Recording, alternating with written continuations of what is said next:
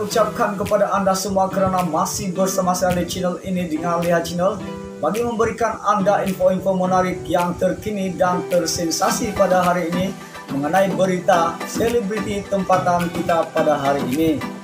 Baiklah guys, jom kita mulakan.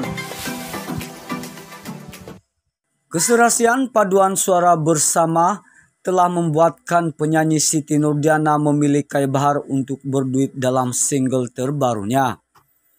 Siti Nurdiana berkata ide untuk berduit bersama Kai Bahar muncul selepas nyanyiannya bersama Kai Bahar dalam aplikasi Smul mendapat sambutan peminat.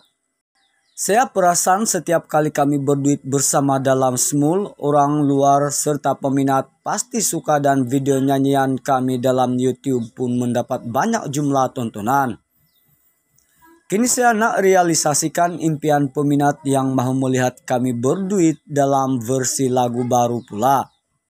Saya pun suka bila akhirnya dapat juga kami berduit dalam lagu baru kerana saya dapati kami serasi dalam setiap lagu yang kami nyanyikan katanya kepada Astro Gumpak.